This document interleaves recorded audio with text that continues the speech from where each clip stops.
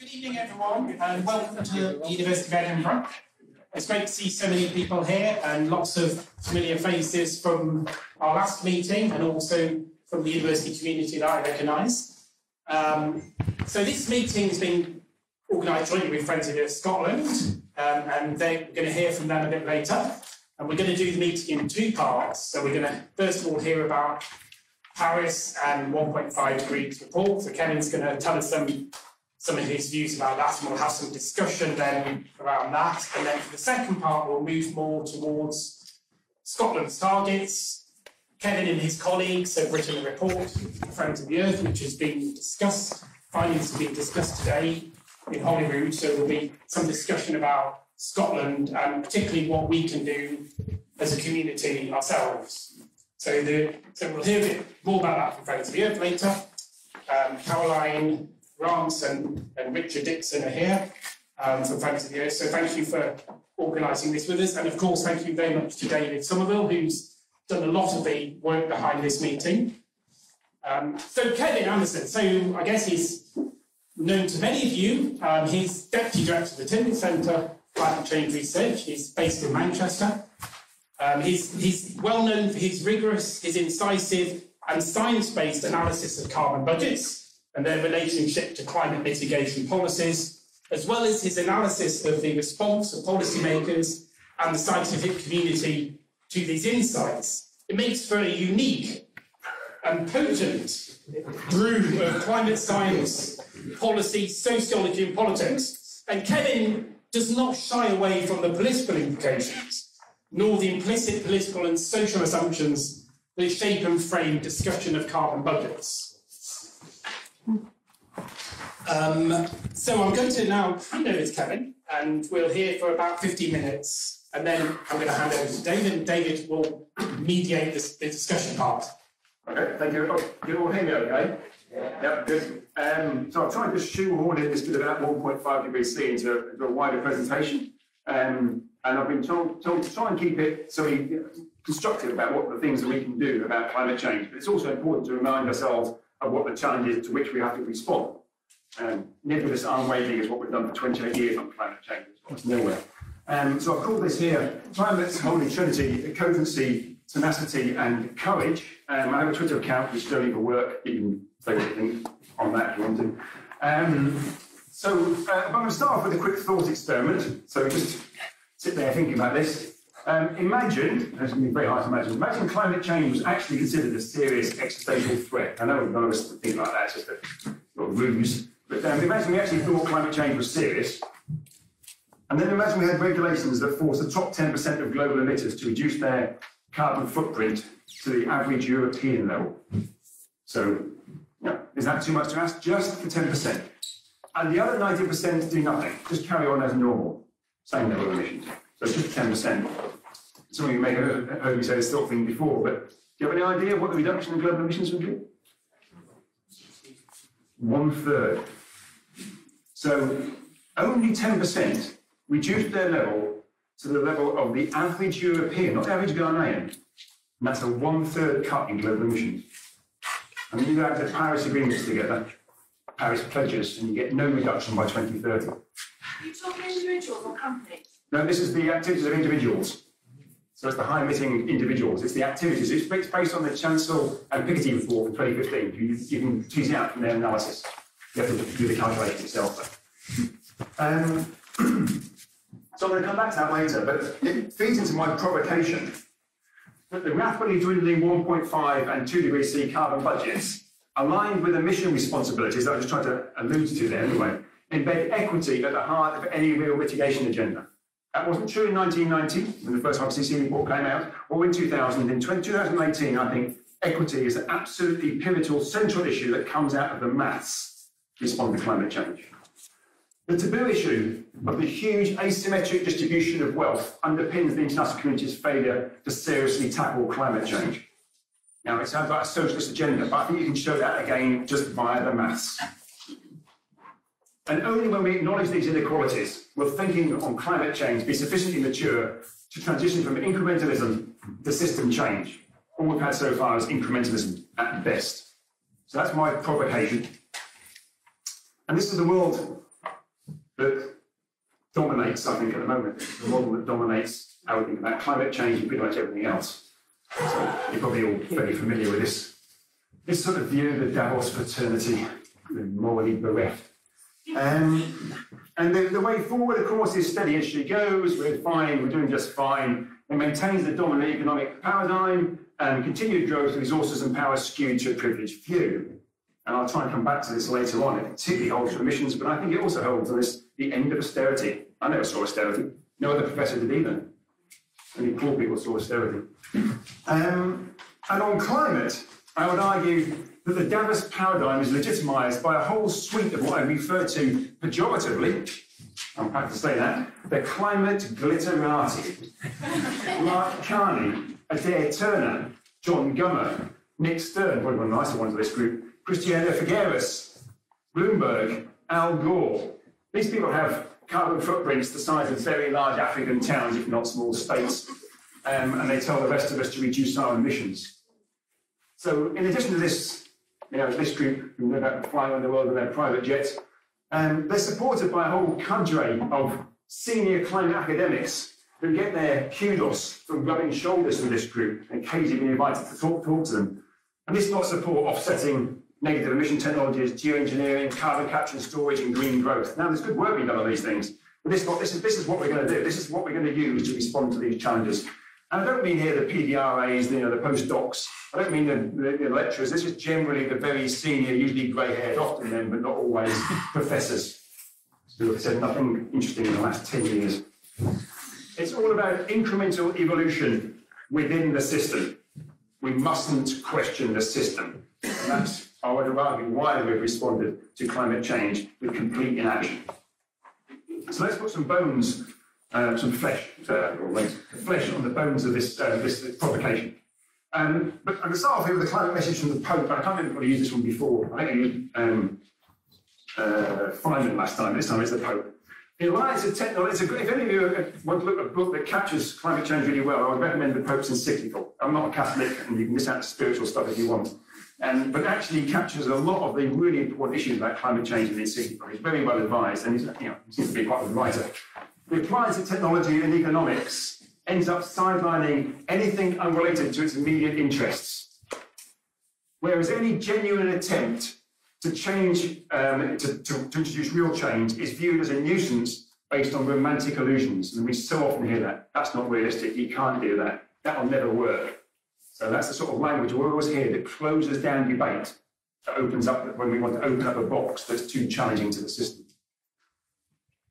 So what is the international agenda on climate change? Um, well, you're all familiar with the Paris Agreement, um, and what we, what we uh, promised to do here is take action. That's quite important to take action. It wasn't just to talk about it to hold to well below 2 degrees centigrade, and ideally over 1.5, to do so in accordance with the best science, which I would argue is broadly a carbon budget framework, and on the basis of equity. Um, and as I was saying this afternoon in Holyrood, no country in the, in, the, in the world is taken any notice of the equity issue, none of the wealthy countries. It's just lip service. We never think about equity issues, and I'll talk about that later on, how come we've already ignored that issue, including the Committee on Climate Change.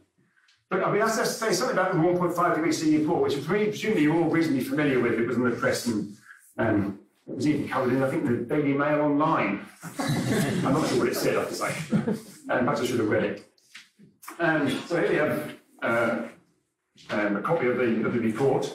And for me, there are two explicit um, and headline conclusions from it, and one implicit message. And I was not keen that we had a 1.5 degree C report. I think in retrospect, I was probably wrong on that. I think in some ways, I think it's been a good thing to have. Um, I was very uncertain of actually we spent all this time pretending we could hit 1.5, but I think there are some merits to it. So the two headline conclusions, just using a couple of these slides and backdrops from the report. The first is the impact, great surprise. The impacts at 2 degrees C, I C are noticeably worse than the ones at 1.5. That wasn't a great revelation, I would have thought. But it was interesting to see the work you know, brought together as to what is the difference between 1.5 and 2 degrees centigrade other than just half a degree. And there are some significant sets of impacts that, uh, uh, we can tease out from the science. But it's also, I think, fair to say there's a lot of uncertainty remaining there. But you know, significantly higher um, ecosystem impacts across the board, pretty much. So regardless of whichever category you look at, it looks noticeably worse. Most mostly worse at two degrees C. Um, significantly higher uh, consequent uh, chance of additional feedbacks, making the situation considerably worse. So 1.5, quite often it was suggesting, well, we might just be lucky not have some of the feedbacks. At 2 degrees centigrade, there was a greater feeling that, well, greater confidence that we wouldn't be getting additional feedback to make the situation worse.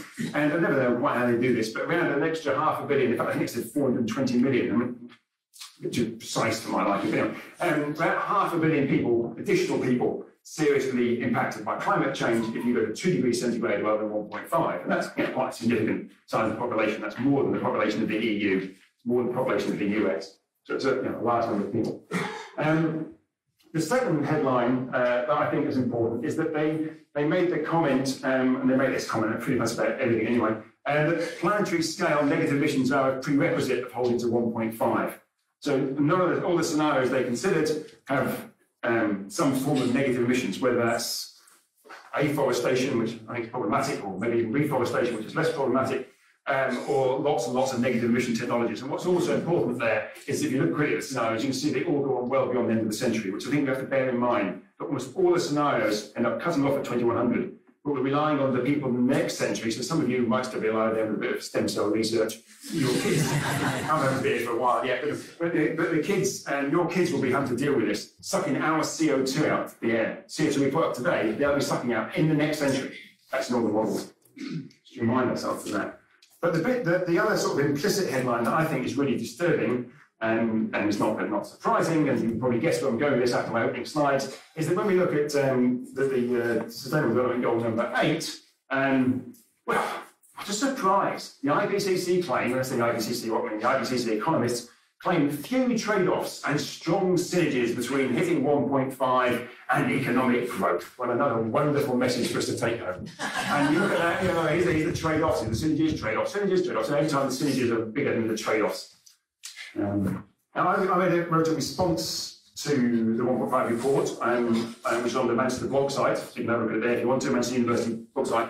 And, just add this, this quote from it, which is what captures my view. The, the IPCC, IPCC report meticulously lays out how the serious um, climate impacts of 1.5 and warming are still far less destructive than those of 2 degrees centigrade. It makes clear 1.5 is not a safe threshold. Sadly, the IPCC then fails again to address the profound implications of reducing emissions in line with 1.5 and 2 degrees C. Dress it up however we may wish, climate change is a rationing issue. Yeah, and that's what it is. We have a certain budget to spend. And you know, more one person spends more, someone has to spend less. It's a rationing issue. We don't like the language, but tough. We should have done something about it a long time ago.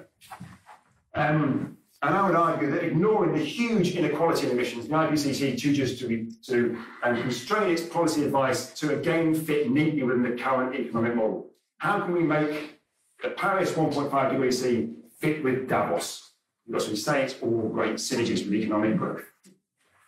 Um, so it's not a great position to start from, I think. But then that's my upbeat interpretation of the 1.5 degrees C report.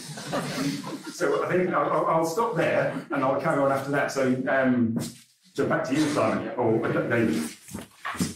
Was that sufficiently upbeat? oh, that's my sort of the best.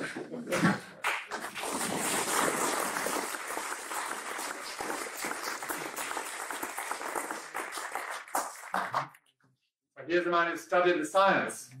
Um, we thought that before we go into the um, looking at what we might do here locally in Scotland, we get any reflections. Uh, is that working? Are you able to hear me okay? And we get some reflections from colleagues in the room. Um, and I'd be particularly glad of any reflections which are um, um, from people with different disciplines to Kevin's. So, any any any um, any takers for that?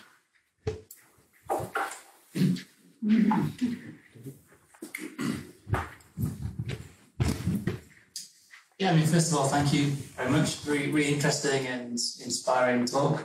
My reflection is that I think when, you, when we're looking at how to frame the, the, climate message in the future, I mean, there's a fair chance that we're going to blow through 1.5 degrees and possibly 2 degrees when you look at how emissions are increasing. It puts us in a really uncertain future. So the idea of equity, I think, is really important because if we're framing the, the debate, you need to frame it somehow that there's some source of positive. And if it really means we have to change, uh, you know, everything, then at least we frame it as something that's positive. You know, this change can be positive, even if we're going to be in an uncertain future where we don't know if we're going to get to four or five or six degrees. Um, and I think that's really going to be key because otherwise it's just a message of sort of doomsday or where. Hmm. Thank you.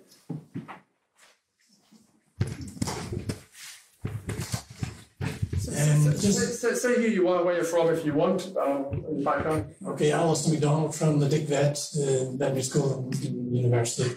Um, in The Guardian today, there's a report that since 1970, 60% of the animal life on this planet has now gone.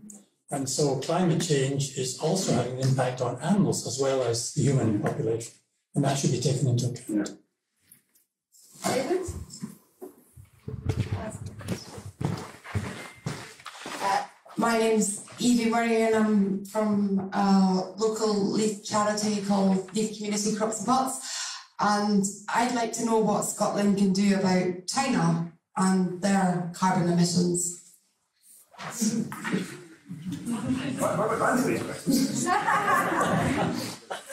Hi, my name is Willie Black. I'm uh, United the Union uh, campaigner.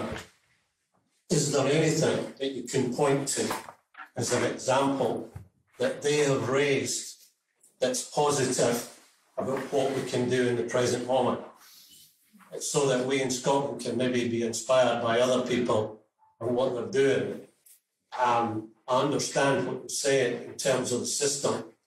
We have to change the system ultimately or we're doomed. But nevertheless, within the system, is there anything that we can do at this present time and campaign round on the scale that's required rather than just tinkering about with blue buckets or cycling?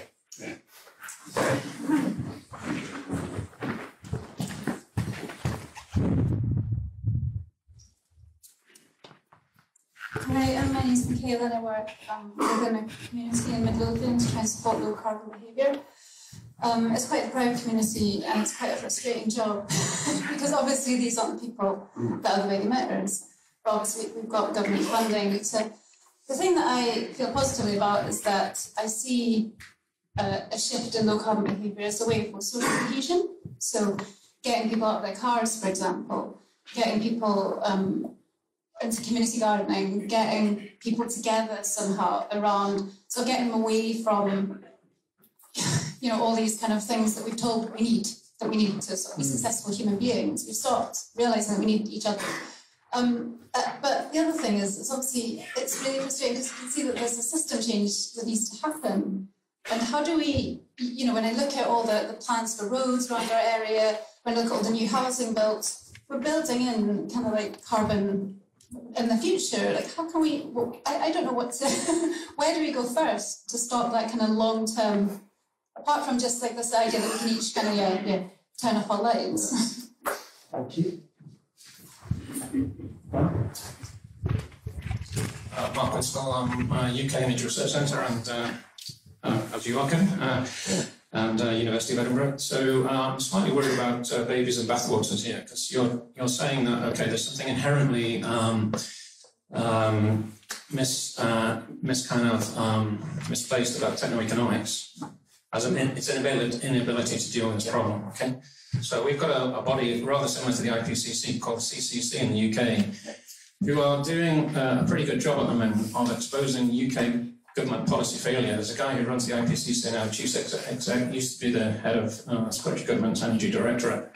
And he's uh, invited the UK government to explain why it's opposed to the lowest cost uh, carbon innovations, carbon technology, why we're not finding least cost routes to, to system change. So um, by kind of saying this model, this, this framing of experts uh, independently kind of, uh, okay, IPCC won't go and tell national government how to kind of change its economic policies, just won't do that, as, as uh, personally uh, said it recently in Edinburgh. But um, CCC are uh, in the business of doing that now. And they're holding uh, policy uh, makers' feet to the fire on this. So I'm not slightly worried you're kind of undermining one of our uh, institutions who can help us on the way here.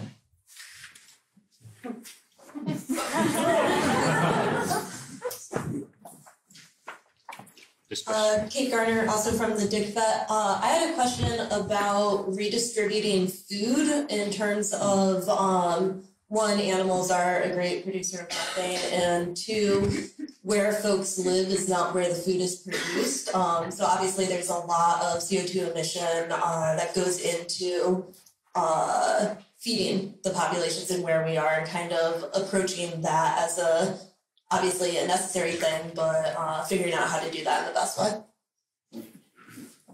Could you pass it back? Hi, I'm Dr. Eleanor Harris uh, from the Confederation of Forest Industries. Um, uh, I was really struck by your first uh, statistic about inequality and the top 10%, um, and I think that's, that's really striking and really important. Um, what I was less convinced by was what seemed to be an assumption that inequality, growth in inequality, and growth in eco- economic growth necessarily go hand in hand. Um, and I think um, there's a risk in getting caught up in a rhetoric. Uh, I, I, think um, I think rationing is exactly right as well. But um, I think um, we risk forgetting how rich we are. Um, most people in China are just reaching the point where they can afford toilet paper. And um, I don't think there's anyone in the room who think that it would be an acceptable, fair situation that we should all get to um, get reduced down to a point where uh, we're not allowed toilet paper. Um, I think we think that was a fairly low standard of um, that everyone else in the world should come up to. So I think I think you're absolutely right about the inequality, um, but I'm not totally convinced about the economic growth. I think there's I think there's more to be thought about um, in there. Hi, I'm Rachel Howell, a lecturer in sustainable development here. Um, I don't have a different perspective to yours, but I just want to clarify the perspective on equity because we know that middle class people in rich countries don't think of themselves as among the wealthiest people in the world. Um, but we are. Yeah. And so I'm wondering who the 10% top emitters are. Are they all people like Al Gore or are we the, in the 10%? And I think that would be useful to clarify in terms of yeah. talking about equity. Very much so.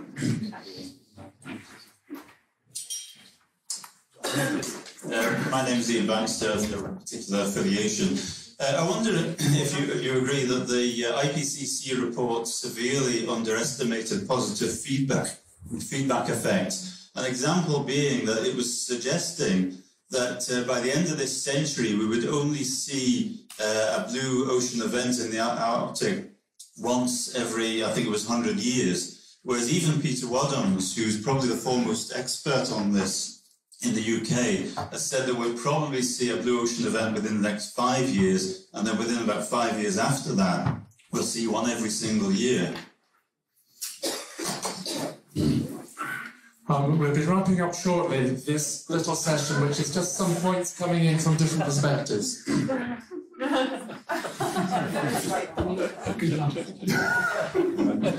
Chris Kerr from the again from the vet school.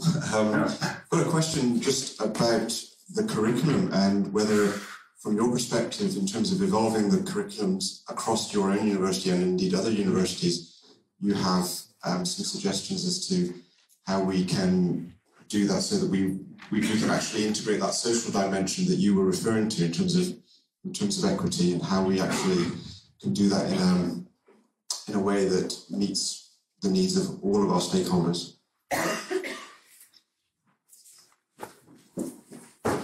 So there are some seats down at the front here if anybody wants to come down. There was, yeah. Uh, thank you very much for your presentation. Um, my name is Thomas. I'm a student from the Masters in Carbon Management. Um, I really like what you said. Like I've been saying that to my friends for years, but like it's nice to hear it from someone has definitely a stronger influence than me.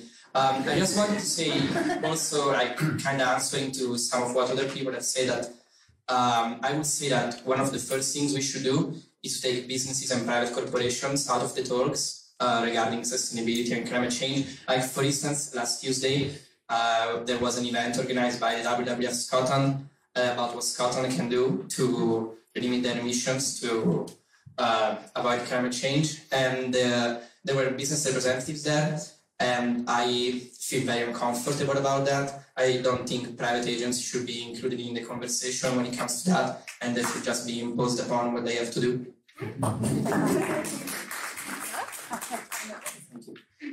My name is Keith Burns. I'm an engineer. I've spent most of my career generating electricity. Um, I'm concerned about the importance of learning from our mistakes. And the example I'd like to cite is the extremely bold experiment that Germany has been carrying out on our behalf, and that is their Energiewende policy.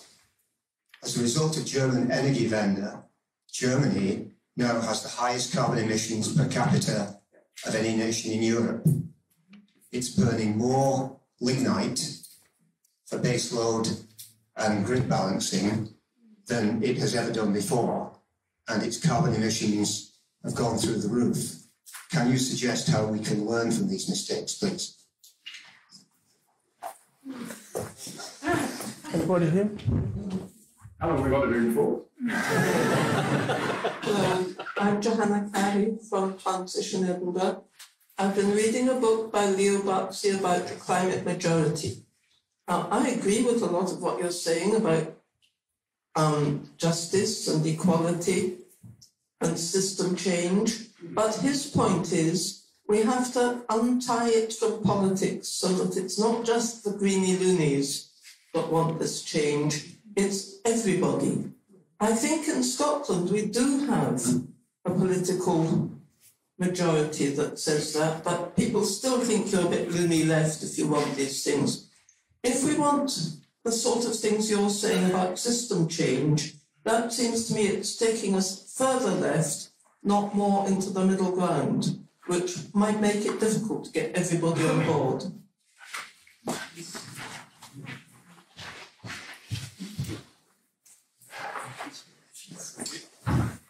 Hi, Kevin. My name is Ian Struthers. I'm a mechanical engineer. Um, I'm reading for a PhD in wind and marine energy uh, systems just now. Um, I'm sitting in a few lectures recently uh, and um, we're talking about the energy mix, oil and gas, and coal, and renewables and nuclear. And, uh, people sometimes say, "Oh, why why do we still see such a big uh, prevalence of fossil fuels in the energy system?" And I say vested interests, and people have a jolly good laugh. Um, and I don't think that's untrue, but I'd love if you could comment on the impact of inverted commas vested interests um, in this domain, uh, and then I'll go back and tell everyone what PhD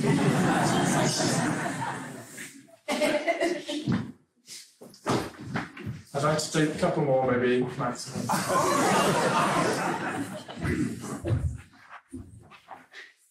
Hello, my name is Lisa McKeever. Um, I'm with Young Friends There Scotland and I'm a divestment company.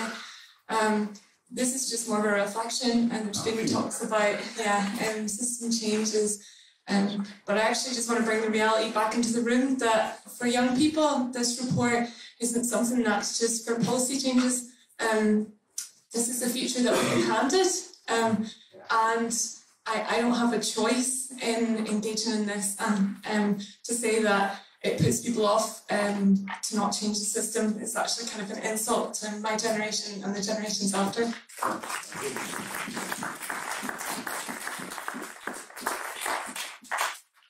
Um, hello, um, my name's uh, Jacqueline Fletcher and I work for Gaia Education. Um, there was mention up there of food, and somebody down there was also talking about the loss of animals. So I would like to know what you think about uh, something that was actually proposed in the IPC report, I think, about regenerative agriculture, but just seems to be dismissed as one of the solutions to actually saving biodiversity and sequestering carbon. I've got somebody down here, is there? Could you pass this down? down, down there. Hi, my name is Maria and I'm a sustainable development student at the university. I'm here. But, hello. uh, I'm just wondering about the IPCC report or in general, like climate change and how we communicate it. Because like 1.5 degrees or 2 degrees, like for an average person that isn't very interested in climate change, doesn't sound as a big threat. Like it, during summer, if the temperature goes up from 21 to 25 or like no 21 to 23 i'm very bad at maths. And in norway where i'm from we're very happy because there's always snow. But i'm just thinking whether you you have any idea of how to communicate it better so climate change becomes more of a tangible thing that we can see and see the effects. Because right now it's all just a blur and people are talking about it being something that's fake and something that's real. So maybe that could be something that could be improved.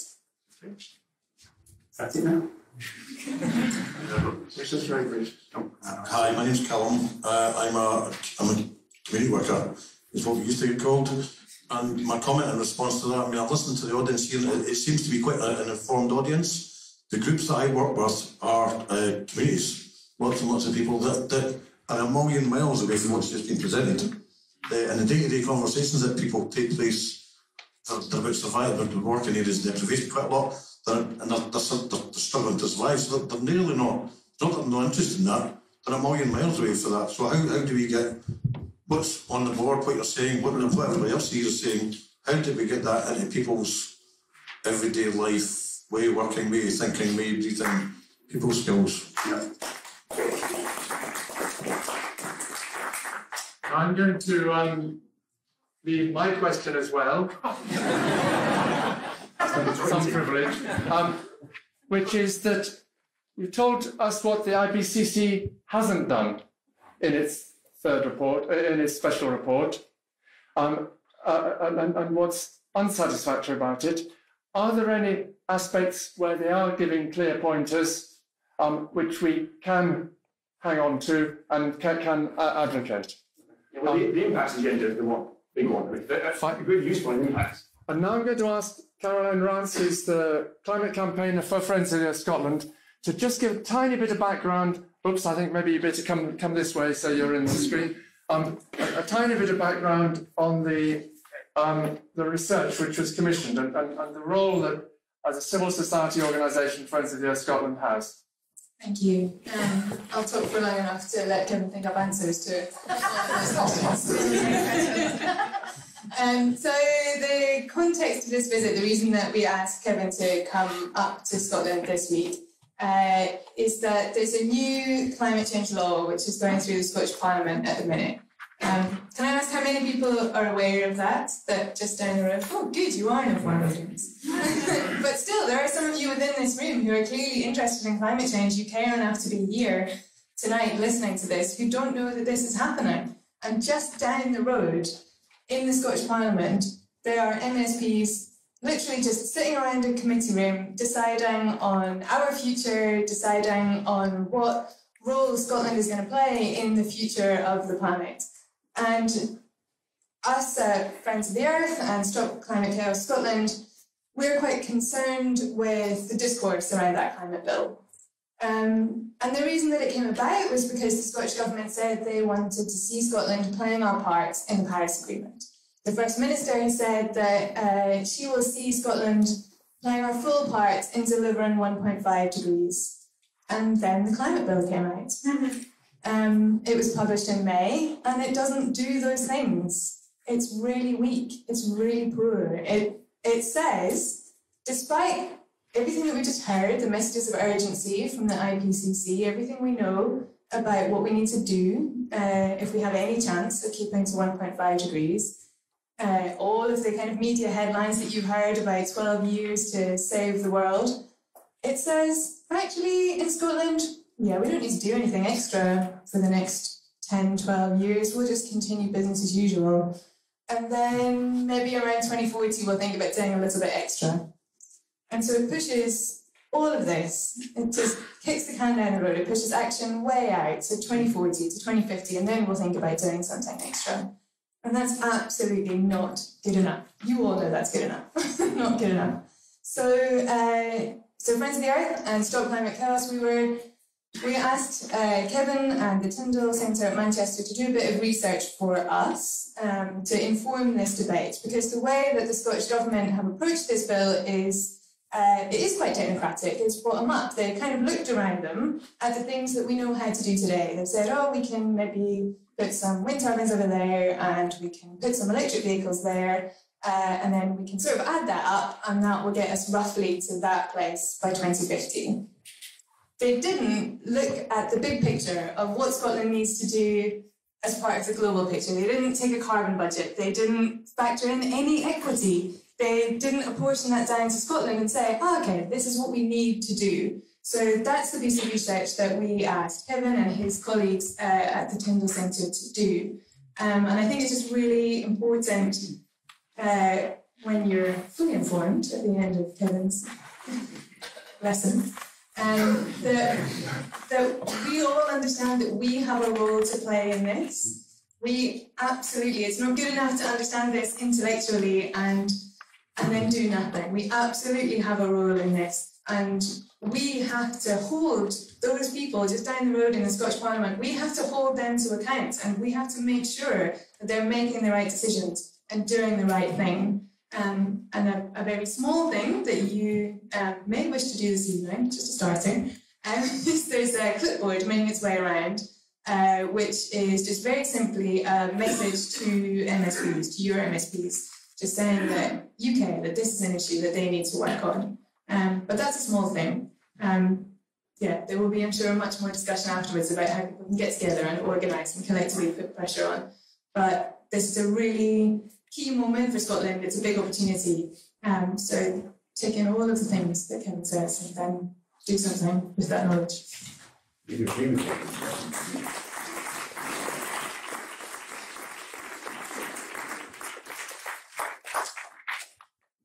Okay, right. I, I can't answer all of those. You can probably guess that because I- I'm hoping that in, in the course of your Discussion, yeah, yeah. you might touch on some of these. I will do, yeah. There will be more discussion afterwards. uh, so, so- Yeah, okay. But uh, I, will, I will discuss a lot more about the equity issue as I go through this, um, and your very important point about private communities who are actually pivotal, both in terms of suffering from the impact, but actually are part of the solution. I'll come back to that towards the end. Um, you know, I appreciate a lot of the comments that are made on, on animals, and you know, I mean, what we're doing to the you know, to the ecosystems of this planet that have been here for pretty much what three billion years, probably various forms of ecosystems since we've had some sort of life on this planet, and we've been here for a, a, a nanosecond and destroying huge numbers of those. I, I, I, can't remember the numbers off the top of my head, but it, it was looking somewhere recently at the, the mass of domestic animals compared to the mass of uh, wild animals, and it's just basically it's all domestic now. There are no wild animals left, left on this planet a proportional point of view. So it's just it's just really disturbing what we're doing there. Um, uh, what, what can we do about China? Well, lead by example would be not a bad, bad idea. Close our fossil fuel industry down um, with some just transition for the workers. But there are lots of other things we can do about um, about China. We're going to have to to have to tackle the WTO on that, and I'll come back to that a little bit later. The World Trade Organization. We need to make sure that we we already don't import things if they're poisonous. If they've got lead-based paints in toys, we don't import them. Well, how come if they've got a high carbon footprint, how come we don't import those? Because they're also very dangerous to our children as well. So there are, we have to rethink some of that sort of agenda. Um, uh, I don't know where to go with all this. Um, perhaps I'll pick them up as I, as, as I go. As I'll try. I'll try and pick them up as I go through. Equity was an important part. I'll come back to that repeatedly, and, and very much professors and probably probably a large proportion of you here are in the top 10 to 20 percent of global emitters. If you're on a plane once a year, put yourself in that category. Um, and those of you who aren't here at university, you're desperately aspiring to consume as much as possible. That's why you're at university. And unfortunately, that's the measure of progress in our society. We don't have to be like that, but that's what we have at the moment. We, it's our job to kick it. Um, I'll make one comment on the system thing. This, I, I, think the system and the individual, that sort of language is actually unhelpful. They're both they're, they're two sides of the same coin. And, and they're also important issues of leadership. Leadership is not top down. Leadership is as much bottom up as it is top down. And I'll make that point some way that one of the points I wrote down here is of there's, there's a democratic contract that we have. So it, climate change is about politics, not about with a big P, with a small p. Climate change is a political issue. I do not want it diverse from, divorced from politics. It's not a science issue. It's a political issue. It's a cultural issue. Um, and that means we have a role in that. In a democratic society, we have a role. We are, we are contractually obligated to engage with our policymakers. If we sit on our asses at home just moaning and not engaging, then it's not their fault, it's our fault. So it's a partnership between bottom up and top down. And I'll come back to that a bit more. And the Energiewende, yeah, I mean, that's, uh, it would help the thing, and I'm probably getting boost this, they should not have prematurely closed down the nuclear power stations. What you do not do is close down nuclear power stations prematurely. You may not build new ones, you do not close down your existing ones. That is a stupid thing to do when trying to deal with climate change.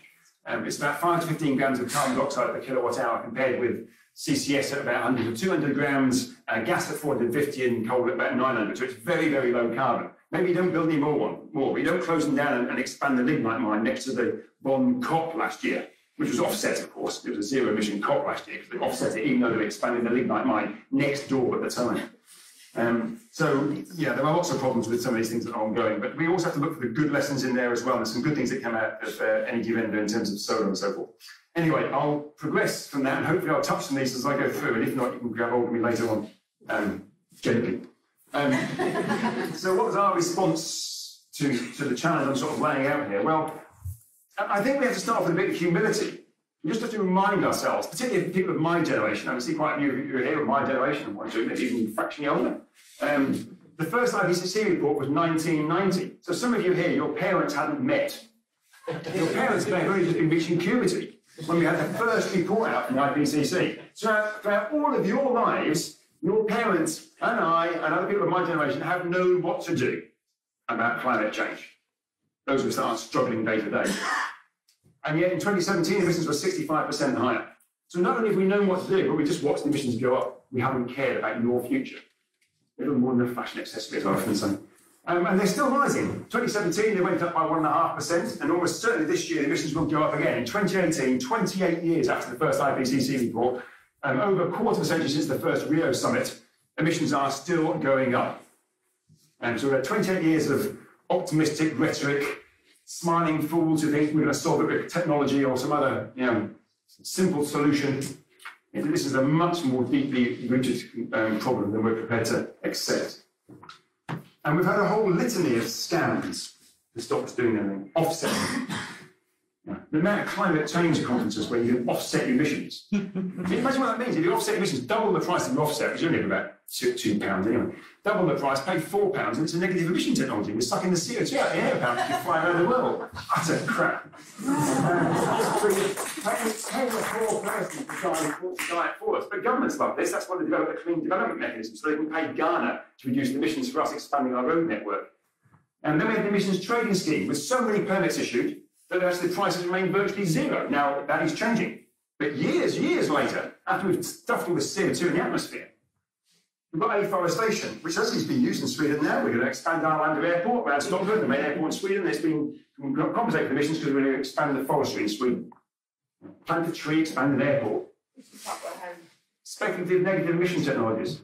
And when all of these things fail, we're already embedded in virtually all of the models that advising governments assume that these things will work. And not that they'll soak, you know, soak about 100 million tonnes here and there. You're talking about hundreds of billions of tonnes of CO2 to be sucked out of the system by these technologies that we don't really have yet. we don't really have. We do not have. They may work, they may not work. Fusion may work, fusion may not work. And then when that fails, we've already got economists and engineers coming together to look at you know, firing rockets into the to spread out sulfur particles to reflect sunlight into space, or cloud brightening, which may be slightly less problematic. So we've already got people looking at these things. What we haven't done is reduce our CO2. It's a reasonable thing to do. Reduce our CO2. And we like to think it's all about China. But this is the UK or Scotland or Sweden or Denmark or France. They're climate progressive countries. Imagine this PLCs, so not worried about you know, just the convenient boundaries they use. So, all leading on climate change, yet the emissions have reached virtually unchanged since 1990. So we'll often hear politicians and corrupted and co-opted academics telling us how we've reduced our emissions. But actually, you know, look at Scotland. It's had no reduction in its emissions in how it operates since 1990. Nor has the UK, nor has France or Denmark. And in aviation and shipping, remember, God, not God, the climate only cares about carbon dioxide emissions. Doesn't it care about your convenient um, accountancy framework? And, and, what we've done internationally, we just said that emissions from aviation and shipping are the responsibility of God. Because no country takes responsibility of them. But they do change the climate, surprisingly. Basic physics. So adding aviation shipping, imports and exports, and we've had no reduction from these climate progressive countries. Now that gives a very different reflection, I think, position to start from, some humility. My generation has chosen to fail the next generation. And if you're the next generation, you should be really pissed off at me. But there's no point in just being angry. You've got to be angry and you've got to be constructive. So how do you tone your anger down and make it come together collectively so you can start to drive change? Remember, you have power.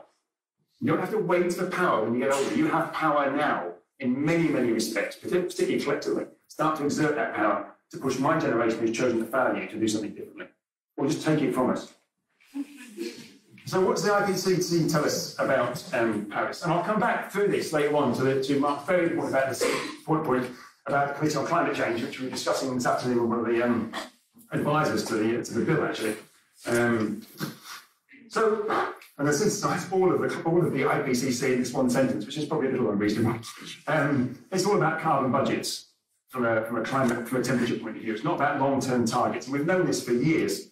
Had the first report on carbon budgets, which we did, I think, with, with Simon years ago. And living the carbon budget was in like 2006 um, in Centre. So how big is the carbon budget that we have? The carbon budget is the total amount of CO2 we can dump in the atmosphere for any given temperature. And there's, there's quite a lot of uncertainty around it, but it's a good enough proxy for us to understand what the policy element should, should be delivering. So I'll take the stuff out of the synthesis report here and um, then the sort of headline numbers from that. To stay well below 2 degrees centigrade, we have something like 750 billion tonnes of CO2 we in the atmosphere. And probably to quite a few, that means nothing. It's about as useful as one and a half or two degrees centigrade. And unfortunately, we use this language which is not meaningful to most people. But most of you probably got some basic maths and arithmetic, and if not, you've got your with calculator on it. So you've got 42 billion tonnes of what we've out into the atmosphere last year in CO2. So a quick calculation will tell you we've got about 18 years of current emissions before we have nothing left for 2 degrees C. Forget 1.5, that's just 2 degrees centigrade. Now, of course, the 750 might be a bit bigger or a bit smaller. There's some uncertainty around that, and if you're sort of, I, I would argue actually, if you take any precautionary approach, you would go for a slightly smaller version of it. You'd think the climate sensitivity is a bit higher, but some people think the climate sensitivity might be a bit lower, so it could be a bit larger, a bit smaller, but it does not change the policy goal. That's the, basically the headline number from the, um, from the IPCC. So let's look at this um, graphically. So this is one of my, um, that's how this is my uncle lives. He lives, he's sat there now watching, watching the Alba excellent program, or either that or the country western program that he watches. Um, there's the Crofter and the Isle of Arran. So this, these are uh, emissions historically, and um, before Paris, we were heading in this direction, it's like four to six degrees centigrade of warming, which I think is just worth bearing in mind. The difference between now and ice age is about five degrees. So we're talking about you know something that would normally occur over thousands or tens of thousands of years occurring in half an hour, basically. So you know that's where we were heading before, according to the science. Then we have to make sure we don't have too much precision in the science. We have a lot of accuracy and with ranges, but we don't have a lot of precision. So we don't know if it's four degrees C or six degrees C we're heading, but in that sort of direction is where we were going. Now, with the Paris Agreement, we've reduced that significantly to something like three or four degrees centigrade of warming. But the only reason we've moved, the only real reason I think that we've moved from the other one to this one, and this ongoing discussion I'm having with some colleagues on Twitter about this, particularly Glen, Glen Peters, who I have a lot of time for, and he actually, we actually agree on this one, is that actually really that shift is because of the economic crisis. It's not because of judicious climate change policy. Hmm. Now, we it happens to coincide with some improvements in climate change policy, but overall, the shift is almost certainly just because of the banking crisis. So we can thank them for that, but I think we can thank them. Um, and to stay well below 2 degrees centigrade, we have something like 750 billion tonnes. I say it could be a bit more, it could be a bit less, depending on your view whether you want to gamble in children's future or secure your children's future. Um, so that looks like 750 billion tonnes there or thereabouts. Um, that's zero emissions from energy by about 2050. And I won't go into talking a lot about agriculture, but it's a really important part of the picture as well, particularly in Scotland. Probably 25% of the warming, roughly, from the Scottish emissions have, have come from um, non-CO2 agricultural type emissions, um, including significant methane in that. So it's an important sector. We know what to do about it. We know how to reduce the emissions by eating less red meat, moving away from ruminants, animals with two stomachs, so if you want to eat animals at all, it's animals with one stomach, pigs and chickens, that'll give you a sort of 50 to 75% reduction in emissions. If you move to a plant-based diet, that helps even more, and certain plant-based diets are better than others. So there are lots of things we can do about food, um, and obviously the wastage side, well, that's important as well. But the most important thing is actually to shift from animals with two stomachs to uh, not animals with two stomachs. That's the biggest, where the biggest jump can be made. And as an uncle who farmed black-faced sheep for 50 years, and my uncle did, he doesn't like me saying this, but really, you know, his sheep were part of the problem but we all, but we all even, or at least we did. Um, but that, that, picture there is so for energy, and that Paris actually um, is has this really important element about equity. As the Paris Agreement does, the Copenhagen uh, Accord did, the, um, uh, Kyoto Protocol talks repeatedly about the equity implications, and that's basically saying that the wealthy nations will take longer to make the reductions. Sorry, the poor nations will take longer to make the reductions than the wealthier parts of the world. And most of us accept that's a reasonably fair thing to do. But if you look at the CCC, for instance, the CCC do not embed any equity in their analysis. In fact, they would go the other way around, and it's highly inequitable what the CCC have done. I'll come back to that a little bit later. So there are, the CCC is not independent in that sense, it takes quite a political view about the UK should take a very colonial view and take a larger chunk of the, of the pie. So um, we had, on what I'm laying out here, I think it's far removed from this sort of enthusiastic cheering at Paris, much I was in favour of having the Paris Agreement. And why is it we've done this? How is it we can be so enthusiastic about how we're achieving um, our, our targets, our goals, our commitments on climate change? And I think it's because the policymakers have received, and I would say have wanted to receive, a very different story. So, and it's by being dominated by a group of what I, well, what refer to as integrated assessment modelers. And mostly economists, but they're advised also by engineers and some scientists. They take a relatively simple climate model, they embed a, broadly general equilibrium neoclassical growth model in the middle of it all, and then they bolt in some other stuff about transitions theory and so forth in various algorithms. So it's all the equation thing, you wind the wheel out, pops as cost optimal, or sometimes they call it cost effective option. So it's a big model of the world with social cost of carbon and all those things embedded in them in, mathematical forms.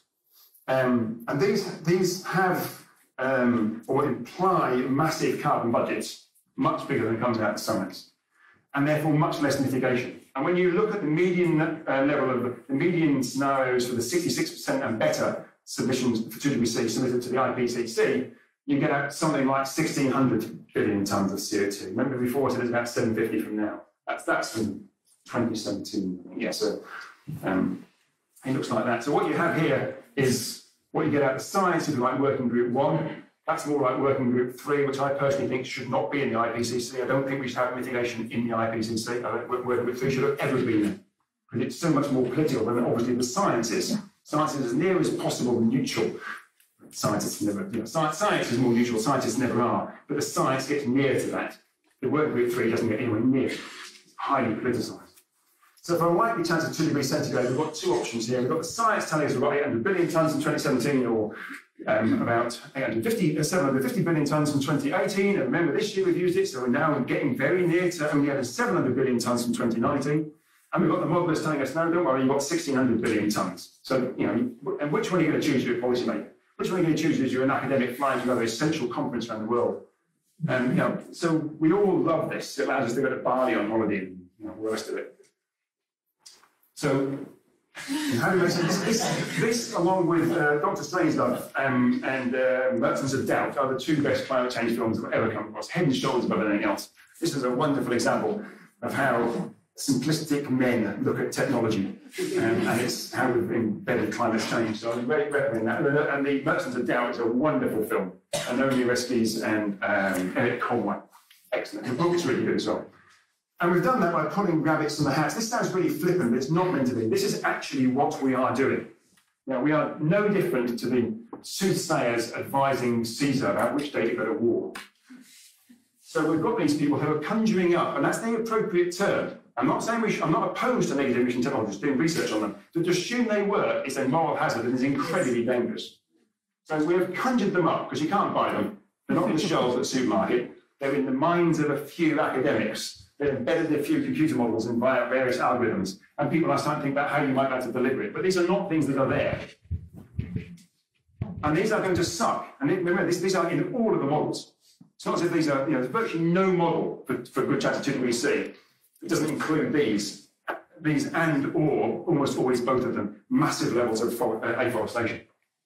There's hundreds of billions of tons of CO2 out the atmosphere. But notice again, beyond the end of the century, so that's what we're relying on. I think that's really disturbing. It goes on. We're relying on this because we can't be asked to act over here. So Paris, some academics and policymakers, rather than focus on urgent and deep mitigation today, because that's massively challenging politically and economically, you'd have to question Davos for like that, and we'd rather rely on non-existent technologies in the future and so when I say we, I mean we, of course, you know, I'll be retired living in Tuscany, you know that. I mean, the younger people here, you invent the technology and suck our CO2 out with it and pass it on to your kids to do the same thing. That's what we're doing. And so we want to suck huge quantities of CO2 out of the atmosphere. You look at most of the scenarios, it assumes ongoing use of fossil fuels. That's convenient for the tax for the treasury, isn't it? And they absorb the taxes from it. And virtually no change in society, so well we can remain there. And that's all. Not like we want to like our It's a wonderful future, isn't it? because there's no resemblance to physics. So how do we go from um, a global position to Scotland? So I'm going back to our report now, how we um, shift from one to the other. So to limit to two degrees C rise, we have a carbon pie, some simple stuff, and uh, or Manchester tart.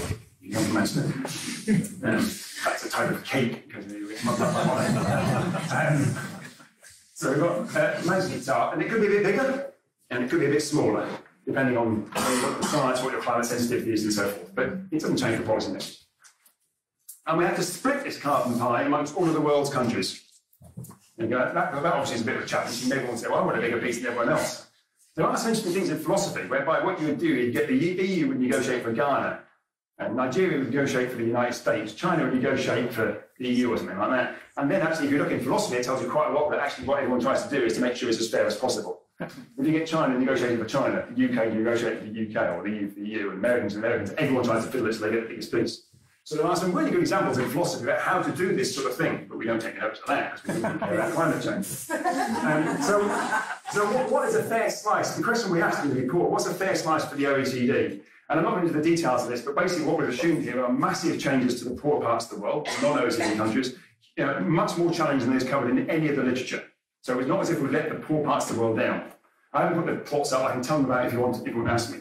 And we've then said, of the carbon budget for the globe, two degrees centigrade, take off what we refuse for, assume for the non-OECD, what's left for the OECD? Again, that could be a bit bigger or a bit smaller. Then we looked at the OECD and said, what's, what's the proportion for Scotland, for, for the UK? And we've done that on the basis of things like population, uh, GDP, and grandfathering, in other words, historical emissions. And we use it not just the one year before, but we take like five or six years and then sort of average them out in case there's any anomalies. So you of study it in, in science. Um, and then we've asked, how much do the Scots get?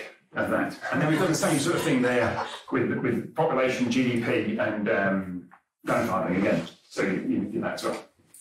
And we've done the same thing in Sweden. We've done it for the lands in Sweden. We've just done it recently for the EU because we asked to provide some information for the EU who's thinking about producing budgets. And that's then the numbers for Scotland, um, including aviation shipping, but excluding imports and exports. That probably means nothing to most of you unless you're sort of spreadsheet geeks who loves carbon, but to give a bit of a different feeling, that's five to nine years of carbon emissions. Five to nine years to blow two degrees C out the window. Not 1.5, two degrees. And remember, this isn't a really fantastic chance at degrees centigrade. This is just a, yeah, this is a, a reasonably good chance. You wouldn't get in a plane. Hopefully, you wouldn't get in a plane at all. But if you were to get in a plane, imagine that, um, then you wouldn't get in a plane if it had a sort of one third chance of crashing, probably not. Everything probably not quite good for emissions because people very quickly stop flying. but um, yeah, that's what prepared to accept here. So five to nine years only for a sort of 66% chance of so to do this. So um, was that picture again?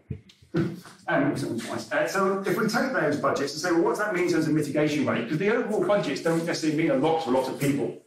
It's about a 10 to 15% reduction in emissions every single year starting now. And when it says now, I mean at the beginning of this year. So already a year behind. And remember, cumulative emissions mean that every year you don't hit your percentage, the next year the percentage is higher. And that's the big problem that I think a lot of people really struggle to grasp. It's different to long-term targets. So if you hit if you hit seven percent this year, well done. Except you're still way below what you should have been. So next year you're gonna have to hit maybe eleven or twelve percent. If you fail that again, just hit eight percent, then it's gonna be higher again. And that's the problem because we chose, I chose, my generation chose to fail for 28 years. There's very little budget left. We need to look at a total reduction from carbon dioxide from energy of about 80% by 2030. Completely different to what's in the climate bill, what all the sort of rhetoric we normally hear, or indeed what we hear from the Committee on Climate Change. And a fully decarbonised energy system by about 2035 2040. That's ships, industry, fridges, cars, everything. And remember, only 20% of the, electricity we can, of the energy we consume at the moment is electricity. 80% of it is not electricity. There's a massive agenda just trying to electrify a lot of things as well as making low carbon electricity. Let's compare this with the CCC, which I have, have a lot of time for them. Chris Stark, I've had a, a few meetings with him now, um, the, new, new CEO at, uh, at, at, the CCC. I think the Climate Change Act was saying today, I think the Climate Change Act is a wonderful piece of legislation. It's way ahead of 2008, the Climate Change Act. It's way ahead of Sweden's climate law that brought out this year. It's still the best that's there. The problem it relies, the minister, it relies on the minister with integrity to instruct the CCC to, to do things that, um, you know, like layout, to be more independent, to do the analysis more brutally, rather than just relying on asking them to really do things and massage it around an economic framing. It also, I think, requires the commissioners of the CCC, going back to Mark's point, I think the commissioners of the CCC, even though I've got a lot of time and respect for them, I think they have let us down. I think the commissioners and the CCC have not held the, in, the, the, the line of integrity that I would expect people from their scientific foundation to have done. I think they have sold out. So I think the CCC has been um, only semi, semi-autonomous from government and has taken a political agenda, not a scientific agenda. Um, having said that, the Secretariat are excellent and they would give a, to a scientific agenda if they were asked to by the Minister and if the Commissioners supported. So there's the CCC scenarios, uh, or general pathway, take away the noise and plot at 2 degrees centigrade and look something like that. And it's always the same if you use the Swedish, Swedish climate change law as well and get the same sort of thing. 2 degrees C is so much more demanding than what the CCC is saying. Remember, that's 2 degrees C, not 1.5. Why are there such differences? And I'm just picking on some of these ones now. First, the CCC, CCC's analysis is for an 80% reduction by 2050. It's actually not for 2 degrees centigrade. Now, I would argue that actually, when the early days, they used a framing of 2 degrees centigrade, or relative 2 degrees centigrade, that fed into the 80%. But they repeatedly have told me, when I really pushed them on this, Chris Stark and others there, that they do not, they have not given advice on either 2 degrees centigrade or 1.5. And I've repeatedly pushed them on that. They said, we give guidance on the 80%. And the 80% came out of a view of 2 degrees centigrade, but they no longer advise on that. Uh, of course, they can do, it's asked to by the minister.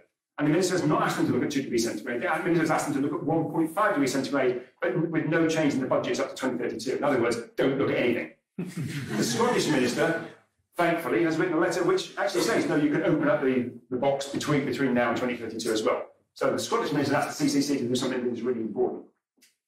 But the UK minister, Claire Perry, said, let's close the debate down. Um, so the CCC also assume a planetary uptake of negative emission technologies. The most conservative reading you could have of the CCC's work is 3 billion tonnes of CO2 sucked out of the atmosphere in the future when they're all retired.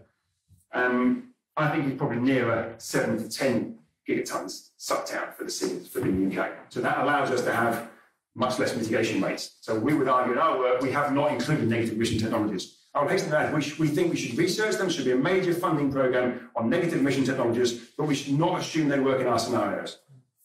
Instead, we assume they work in all of our scenarios. The CCC ignored the equity steer in Paris and every other agreement as well. So they say we want a larger piece of the pie, and then they work out what's necessary to deliver on that large piece of the pie. I think that's unfair. I think it's in, not in line with Paris. And I think we should be pushing the academics again, well, we're, we're typical quiet people, but we should be speaking loudly about this, saying that's not in line with what our commitments are. We explicitly embed an equity dimension in our work, which is why it's so different. The CCC analysis is for all UK CO2. We're focusing just on the energy component here. We've done the Scottish report, we've looked at deforestation and process emissions, but the reason we separated these out is that process emissions from cement, which are about 7% of the world's emissions at the moment, that's the, the manufacture of the, the, chemical process of making cement. Cement is essential for the development of poor parts of the world, and indeed for the, making the low carbon agenda in rich parts of the world. And to, to penalise poor parts of the world who want to have a decent infrastructure, I think is unfair. So there are no alternatives at scale yet to cement. So we've made some scenarios about that and lots of other things in there to make as low emissions as possible, as quickly as possible but I think it's really important. And just give some sort of idea, in the EU, I think we, we use about 300 kilograms of cement per person, the Chinese use about 3,000 kilograms per person, because they are building an infrastructure that we already have. And deforestation, we've already deforested and used the land for all sorts of things, and then we blame other people when they deforest. I don't think we should be deforesting, but I think we are part of the problem. When Brazil chooses to deforest, or Malaysia or Indonesia, that's partly our problem. It's not just theirs. We've done that. So I think just to blame them for it is inappropriate. So I think these things should be global overheads and we can discuss that later in detail, because, because there are no separate, there are no alternatives to those things at scale at the moment. And the CCC use uh, five-year budgets and which exclude aviation and shipping. I think they should be included. Now, I understand the Scottish Parliament is actually including aviation shipping, so all credit to it for doing that. I don't know how it's actually doing it, but um, it's good that it's actually doing that. But the, but the UK it is in the 80% target, but it's not in the budget. Don't ask me what the logic is for that. I can't understand it um, aviation shipping. So there's some big differences between us and the CCC. There are some other ones as well, but I would, you know, if you think what they're doing there is right, then you get different budget. So um, let's come towards the end now. Let's look at some real action on climate change. What can we do to deliver on it? I just realised I meant to put some other slides in. I took out anyway, never mind. Um, they were the ones that actually said what we did need to do. so I thought that. So CO2, as I said before, right from the sort of early experiment, is hugely skewed, and you're probably familiar with this this plot, it sort of comes out of the, the Chancel and Piketty work. This is where the emissions are from our activities. And, and I think this is really important. This is at a global level, but I'm pretty sure that this works in, in Scotland as well. It probably works in this audience here. Someone did some work in Sweden recently looking at um, professors. Professors had five times the uh, carbon footprint of their postdocs and 15 times of their PhDs. 15 times. Um, but I'm sure they're worth it, of course. so what I'm trying to say is that emissions are massively skewed. And if you live in Bearsden rather than Drumchapel, then you know, your emissions will be much higher in Bearsden than some poor person bringing up a tenement block in Drumchapel. So they'll be the same in Scotland. Most emissions are due to the activities of a few. 50% of global CO2 comes from 10% of the world's population, 70% of global CO2 comes 10 to 20% of the population from our activities. Yeah, that's the industries doing things for us, so industry's factored in there. These are all emissions right, globally. I would argue, given that, and what I'm saying there, you've got a, th- th- there is no way out of this. If we're serious about the two degree C framing, and as someone said before, we like to blow right the way through it. I think that's true. But if that's the case, we need to be honest. We need to let poor people know in other parts of the world that we're not going to make reductions for them, and therefore they need to be adapting to four, five, six degrees. So we should be honest about that. If we are going to hit two degrees centigrade, I would argue this is a framework for it. I'm not saying what the details will be, but first, you have to get off the emissions curve now. And there's no way you can do that with kit and tech. Even though as an engineer, I really wish you could, my sister said, you know, I'm a mechanical engineer, if you design and build offshore oil platforms. So I've got some idea of engineering. Um, you know, we need profound changes that have to be regulated for by the high emitters, by people like me. I mean, um, this audience perhaps slightly different, but my guess is most of us are fairly high emitters. Um, and so we need to have to see that. And that can drive emissions down very rapidly indeed. Another start gets off the curve. And it also allows the poor parts of the world to see their emissions rise, which is what we want. I want to see emissions in poor parts of the world going up because I do not want the poor to suffer as a consequence of climate change. I want them to benefit from it. In the near term, we need also, and this takes a little bit longer, but not much longer, very stringent energy efficiency standards and conservation as well. But we have to watch out for the rebound effect. You have this paradox that every time we save some money on one thing, we buy a jet ski or another flight. So, you, but that's not insurmountable. We can do lots of things around that with progressive featuring tariffs and all sorts of other tools that we can use to address that. And of course, we do require a massive shift in our energy system to becoming fully decarbonised. Not, not low carbon, zero carbon. It's one of the reasons CCS can't be part of it. CCS is going to be 100 to 200 grams, as I said before, per kilowatt hour. It's very high. So 10 to 30 times higher than renewable and nuclear. So we need a, and I call it a Marshall style, not because I think George Marshall's you know, plans to stop the communists coming to Europe was, was the right thing, in fact it was the right thing, but not for those reasons. Um, but actually the, the, reconstruction of Europe after the Second World War gives us a flavour of the sorts of changes we're talking about. We're not talking about piecemeal adjustments with the odd bit of carbon tax and all the other tweaking that the integrated assessment models and everything else does on this. We're talking about something much, much more fundamental. This is, a, this is akin to the shift in productive capacity of society in World War II. People don't like these metaphors, but they capture the essence of what, what we're talking about here. Even if we don't to, you know, agree with why we're doing it, we're not going to make tanks this time, we're going to make trams. Um, and just to give a flavour what this is like and why it is we don't like it. When I say why it is we don't like it, why it is that we, the people that set the agenda, the Davos set, including us literati professors, um, why, why we don't like it. It's because it actually means the, the resources and the labour that go into allowing us to have large homes, holiday homes, second homes, prestige cars, SUVs, multiple car ownership, highly mobile lives, frequent flyer levy, uh, frequent flyer um, miles, or other sort of things, business and first class, high levels of consumer goods, and a reliance in Scotland on the oil and gas industry. The resources gone into those, both the labour and the economic resources, this is not an issue about being a socialist. This is simply saying that those resources are needed to make the Marshall-style transformation of the energy system. So we can go we can go back to all this inequality once we've got back to zero energy. there, may, there may be some other sustainable development criteria want to consider. From a climate perspective, all of this in here is getting us off the you know, off the carbon-based energy system. So once we go back to that, we can head back to massive inequality and all that other stuff if we want. So it's not a socialist agenda, it's simply an um, agenda of maths, science, and our commitments we need a zero carbon industrial strategy. And we can now talk about that again. The last, that, that language is likely spoken about industrial strategy. People of my generation will know that for 30 years or so, that debate was closed down. We couldn't have industrial strategy. You had to believe in something called free market. Um, which is, of course, there's never been any free market. So there has been a market mechanism. So anyway, um, so there is a positive narrative around this. This is massive. This comes back to gentleman's point over there. This is there is massive um, jobs opportunity here secure high quality jobs for the next two generations in making the transition. Just look at the rubbish housing in Scotland. I quite like, like it aesthetically, but it is terrible thermodynamically. As my Swedish friends point out, their tents are more efficient than our houses. and, and so we need to retrofit the existing housing stock that's going to be here in 2050, which is probably most of the houses. 25 million houses in the UK, probably most of those, 17 million or so, will still be here in 2050. We need to make sure all new houses are passive houses and hopefully have produce energy as well. So there's a whole lot of work there. We need to eliminate fuel poverty. Every government has tried to do that and fundamentally failed since the Second World War. And so we spend a fortune on health and bills for kids with bronchial problems because they're living in houses that are full of fungus. We know that the landlords are making a fortune.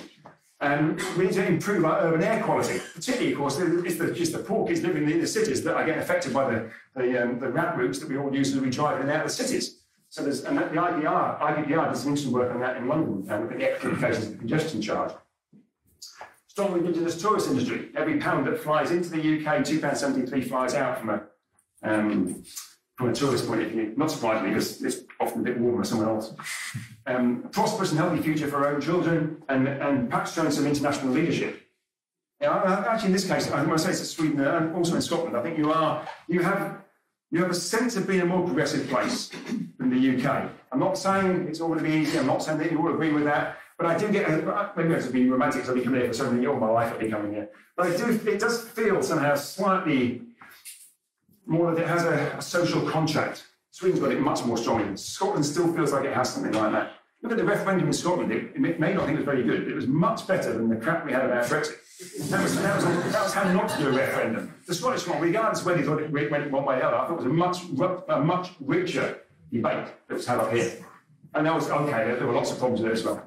Um, so, are there any deep system changes around the corner? But, um, what I'm suggesting here is system change. And I, um, someone said, we have, should we talk about system change? There's no choice. We either adapt, we either change the system rapidly to reduce our emissions, and that's massive system change, or we don't bother, and then system change hits us called climate change. So one has a slight time lag. So system change is inevitable. It's a it's a, a, a natural outcome of our failure to date. Um, when I went to Bonn last year to the COP, I was really depressed. I came back. It was the worst. I think there's many of them anyway, so they were flying, so it's quite hard to get them. I get to Bonn, um, and it was the worst I've ever been to. And, and I started to think about it, and I sort of wrote something on the way back. And really, what I was thinking about was that whether it's politicians, scientists, academics, businesses, journalists, civil society, we're all going there hand in handcart, and we're going there fast. And I think we need to honest about that. But so my question then to myself was, I was really depressed. A two-day journey back to Sweden. I was really quite depressed. So I wrote this cathartic piece for myself. Isn't there any light in there? I trying to write it. Because often when you write, you start to think differently. Um, and, and one picture all going to have a handcart. you put your choice of politicians on. Is that Elon Musk? so, so I wrote something which was actually just for myself, but actually um, uh, something called The Conversation, which some of you might know, picks up sort of academic blog type pieces that got picked up in there. And uh, you know, it got reduced a bit in length, and all my nice, nice flowery words got taken out. Anyway. Um, so, Hope from Chaos could political upheaval lead to a new green epoch? Which sounds a bit desperate, but actually, I think there's something in it, so bear with me for a second. 2008, 10 years ago, I would argue there's been a massive set of huge systemic upheaval since 2008. Um, first the banking crisis. Go back to 2006 and say, I think the Chancellor should sign a cheque for half a trillion pounds for next year. And of course, no one would. No one dreamed that was appropriate at all. Yeah, something there. Yeah, sorry, just, just the air in that's uh, like, oh, no, that's fine. so, quantitative easing. I think the banking crisis was something that no one envisaged occurring, or virtually no one. It was a massive system change. And I'm not saying these are good or bad. I'm not saying any of these things are good or bad. You can make your own judgment on that.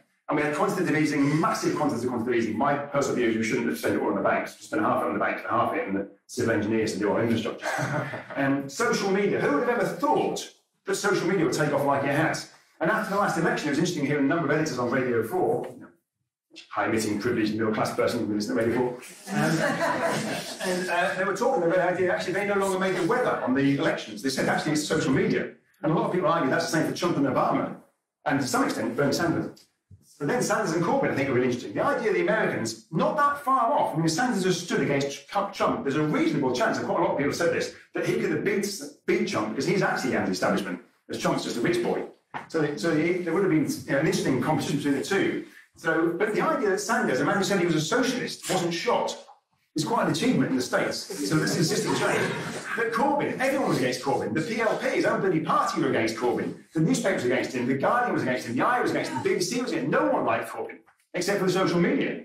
And he did remarkably well. And he has changed the discourse, whether you like Corbyn or not, he's changed a lot of the discourse in the UK as a consequence.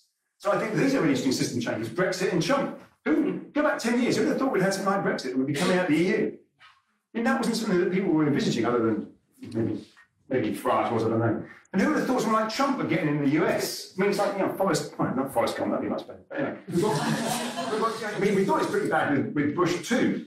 But, um, um, but Trump is, is an amazing character in some respects. But actually, they raise questions about the, the importance of the establishment and how come questions have been asked about that establishment. That's what's really important here, regardless whether you think it's a good or bad thing. The Arab Spring.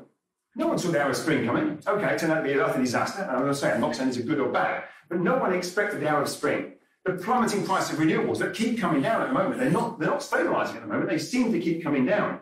And that is, that's causing a lot of problems for investors in energy because you don't know whether what you invest in today is going to be much cheaper tomorrow.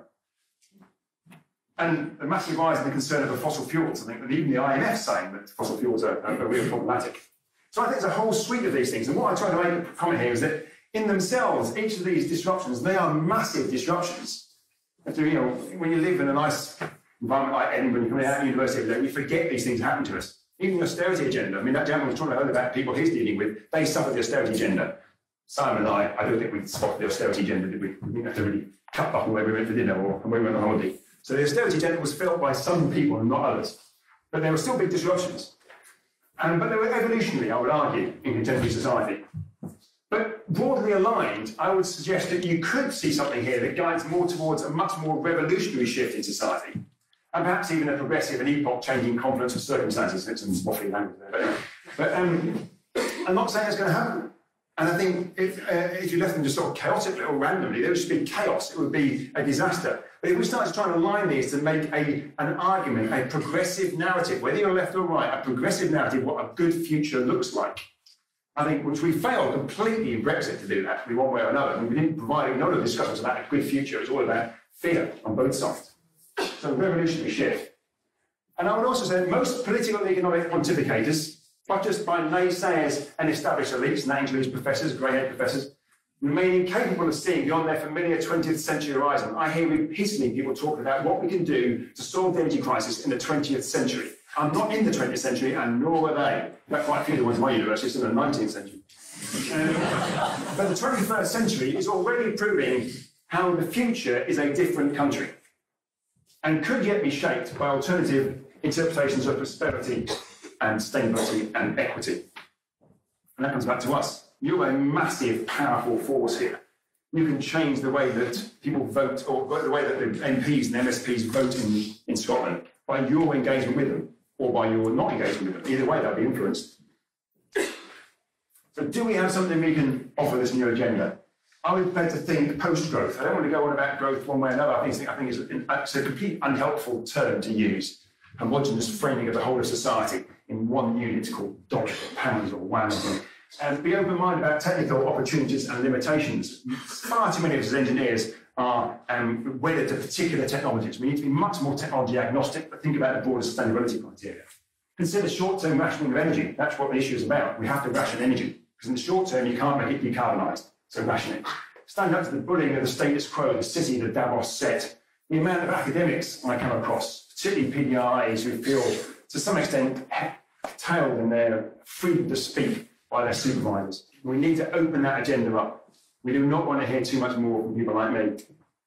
Um, do we have the cogency, tenacity, and courage to escape?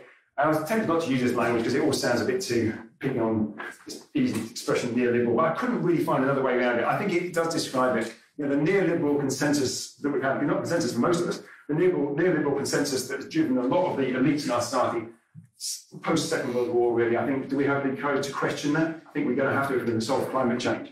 So, to conclude, climate change is system change. Um, and if we want to use the sort of logic of carbon budgets rather than the astrology that informs most of our modern work today, I think it begs fundamental questions of our norms and of our paradigms. We need to transform the energy supply, listening to the Marshall style transformation of it, and moving the resources of society to help do that.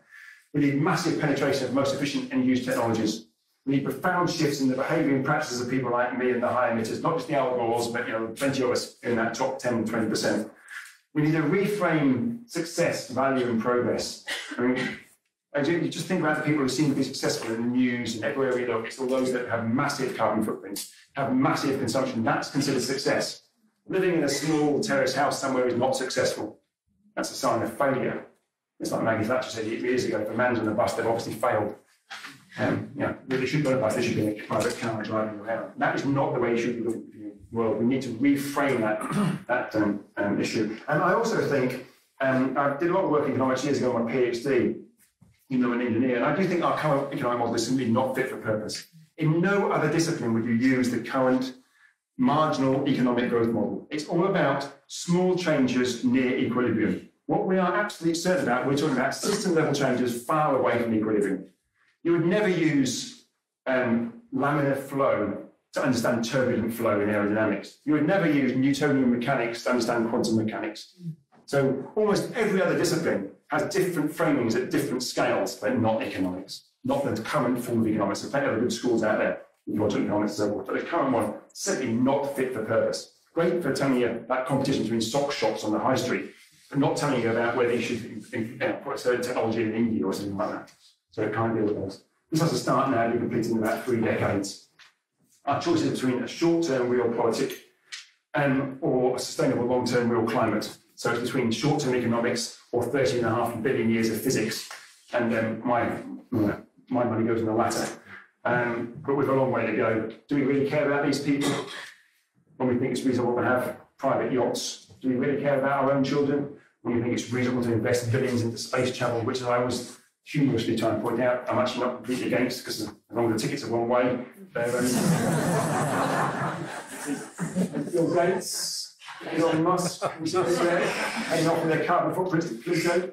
I'm happy to fund their tickets if there's only one way. And do we really care about um, future generations when we think it's reasonable to put, in my case, 85 kilograms of flesh and three ton kilograms, 3,000 3, kilograms of car to drive 10 kilometres to pick up six kilograms of groceries? Is that a reasonable thing to do? No, of course it's not. Do we really care about um, migrants entering our land in, in, in, in, Europe who are coming from Syria, where they did have 12 years of drought that not caused the climate change issue, not caused the war in Syria, but certainly exacerbated these things. When we think, this is almost somewhere past in Cheshire, when we go out cycling, there's plenty of bedrooms there that can be diverted for places coming from elsewhere in the world. So there are plenty of things that we should be doing. Do we care about other species? We know wipe out pretty much all the corals anyway, they're pretty much gone, on sadly. We think it's reasonable to establish a gas network. Now, Sweden's building a new gas terminal in Gothenburg. The EU is planning a whole suite of new gas pipelines to bring gas across to Europe for the next 30, 40, 50 years. Gas is very high carbon, carbon very high carbon fuel. Do we really care about living in this amazingly beautiful, stunning planet, floating in this inky darkness? We don't know anywhere anything like this near, near, nearby that we can get to anyway. I think it's reasonable to fly to a climate change conference or a holiday in Bali. Um, ultimately, as Alex Steffen said, winning slowly is basically the same as losing outright. In the face of both triumphant denialism, yeah, Trump his, his friends, and, and predatory delay, I would argue pretty much everything in the UK, Scotland, all the progressive countries and the predatory delay one, trying to achieve climate action by doing the same thing, the same old ways, guarantees defeat. It means defeat, it guarantees defeat. Um, Scotch climate bill, there's some suggestions to think about. Actually, I'm not going to agree with them, but there's some things we could think about pushing our MSPs to reform the bill make sure it is fit for purpose in the 21st century. So on that note, thank you for listening.